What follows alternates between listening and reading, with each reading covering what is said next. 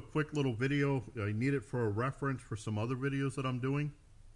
In the past, we've seen how even in cold weather, the Trangia burner lights pretty fast. That you light it, and within a short time, the flames start coming out of the jets. We've always been told that the reason for this is because the Trangia burner has a liner in it that helps with starting it up. Some other stoves don't have it. The one that comes to mind is this Evernew uh, titanium knockoff. This isn't a titanium stove burner, rather, it looks just like it, but this is a knockoff, a cheap knockoff. This is the Evernew stove. Now, the Evernew stove has a liner in this one, but the clone doesn't. It's a hollow shell, just empty. So, even in this case, the Evernew, the real Evernew lights up much faster than the clone one. So, this is what we've been told about this liner, this mysterious liner that we can never see.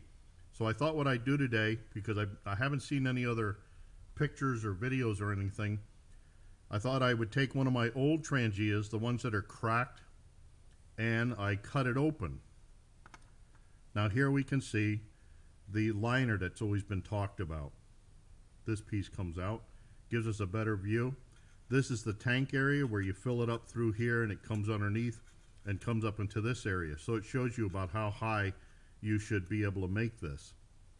Then the liner goes up into this threaded area, which is where the jets are. Now, where I think this comes in is when you first start this, you just light this inner part. Flames are coming up here, so all the heat is up here, but all your alcohol is down here. This wick pulls the alcohol up into this area that's being heated up and helps generate fumes better, or faster, I should say filling up this whole whatever cavity is left. If you have alcohol up to here, this is all empty. This is where all your fumes would be.